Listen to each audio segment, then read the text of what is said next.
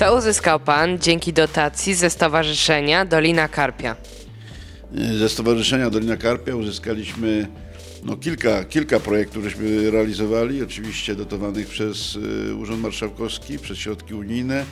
Y, najważniejsze to są tak, zakup na wiosnę, zakup ciągników z przyczepami do przewozu ryb, do przewozu pasz podczas przewozu ryb podczas odłowów.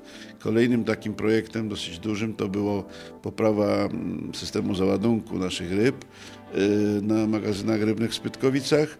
Kolejnym, to tak, też realizowanym, już zrealizowanym w zasadzie projektem, to był, to był projekt polegający na, operacja polegająca na zabezpieczeniu stawów i magazynów rybnych przed kusownictwem poprzez wykonanie ogrodzenia magazynów rybnych oraz zainstalowanie kamer y, monitorujących potencjalnych kusowników na, na stawach oraz na magazynach naszych rybnych.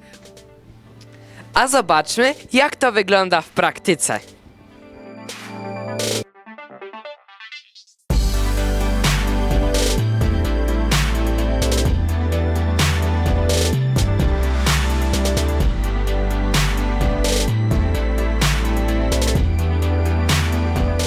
A dzisiaj jesteśmy na terenie gospodarstwa rybackiego Spytkowicach.